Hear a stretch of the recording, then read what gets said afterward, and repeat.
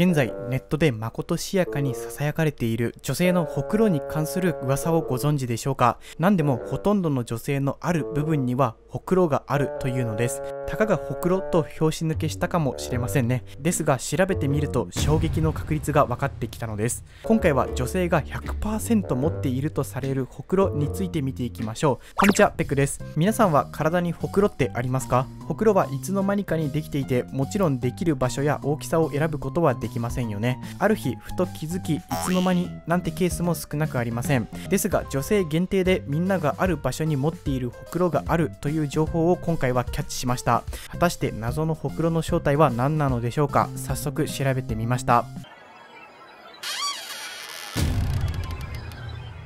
1女性が100持っているある場所にあるほくろ。あなたが女性であれば手首や腕の真ん中に注目してみてください。男性の場合は女友達の腕を見せてもらってもいいかもしれないですね。よく見るとその場所にほくろが見つかりませんか？ほくろがあることは全く珍しいことではありませんよね。でもこのほくろが今ネットで話題となっているんです。きっかけとなったのは海外に住んでいると思われる女性が Twitter に投稿した一つのツイートです。女性は複数名の人の腕をアップしあなたは手首の真ん中にほくろがありますか？とコメント。添付された画像には4名の女性の腕が映っていますがなんと全ての人の手首にほくろがあります。4人くらいなら偶然ではないかと思って片付けることもできたでしょう。でもこの一つのツイートがその後ネットニュースになるほどとんでもない事態に発展していくのです。なんとこの書き込みを見た人が自分の腕をチェックしたらしく私も見たら本当にあったとツイートが続出。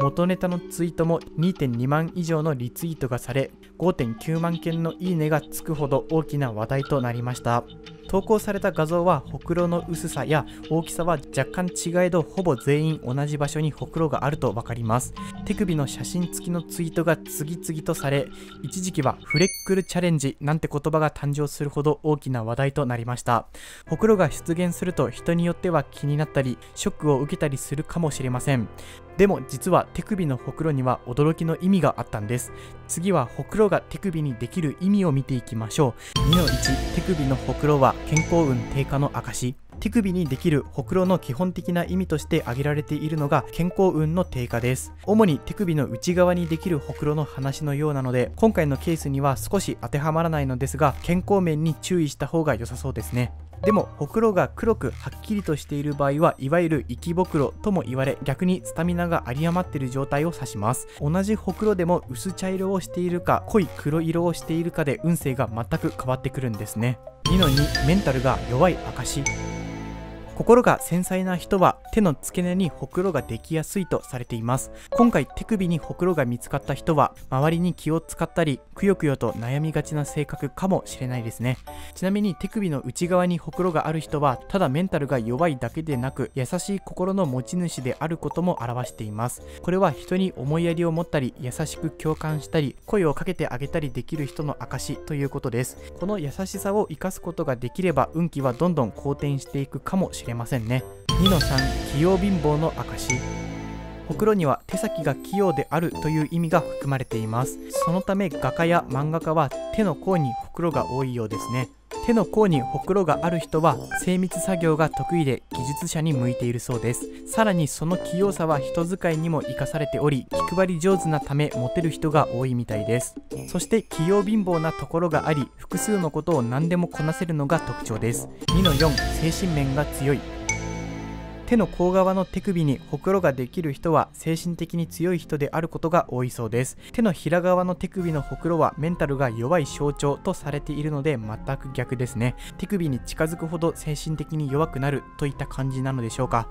手の甲側の手首にほくろがある場合は精神的に強く逆境でも人に負けず攻めが強くタフに生き抜く力を持っていると言われています。高い目標を持ちそれに向かって努力できる人が多いみたいです。ねまた無茶をしたり気持ちが暴走するなんてこともめったにない精神力の持ち主だそうです。自己管理ができ攻めることも制することもできる人が持つほくろとされています。まさに心の強さの証なのかもしれないですね。2-5左右でそれぞれ意味が違う。ほくろができる場所は人によって様々ですが意味は違うのでしょうか？調べてみると意外と深い事情が見えてきましたよ。占いでは右手は経験などによって変化していく運勢左手が持って生まれた運勢を示していると言われています。ということは右手に突然ほくろが出現した人は今までの人生経験によって器用になったりモテるようになったり精神的に強くなったと考えられそうですね。また左手の場合は生まれつきもともとそういう素質があったと言えそうです。ほくろは普段ほとんど意識することはありませんが意味を知ると特別なものに見えてきますね。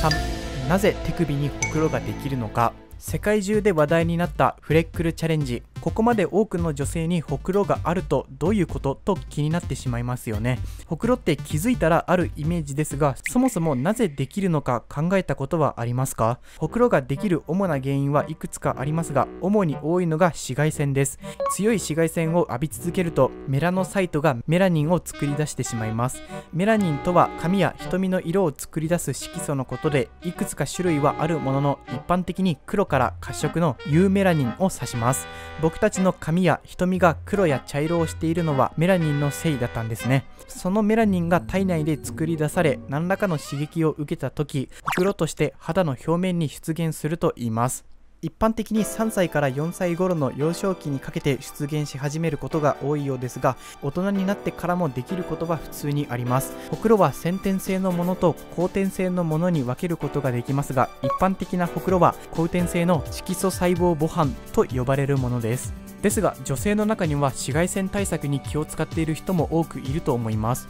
なのでなおさらなぜほくろができてしまうのかと疑問が浮かびますよね。実はほくろの原因は紫外線だけでなく女性ホルモンも大きく影響しているんです。女性ホルモンの一つであるプロゲステロンが多く分泌される人はメラニンが作られやすくなります。女性ホルモンのバランスが乱れないよう注意し心身を休めたり大豆を中心とした食材を摂るといいらしいですよ。今回のほくろ議論については専門家が一般的にほくろやそばかすは日光にさらされるほどより濃くなる。手首以外にほくろが見当たらない人は手首が他の部位よりも日光に当たりやすい状況と言える。などとコメント。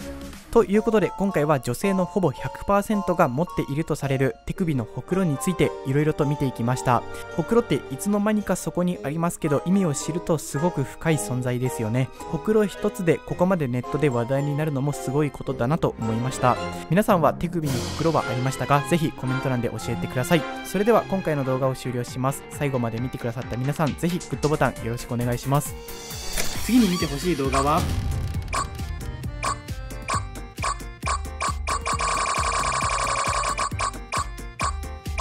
これ。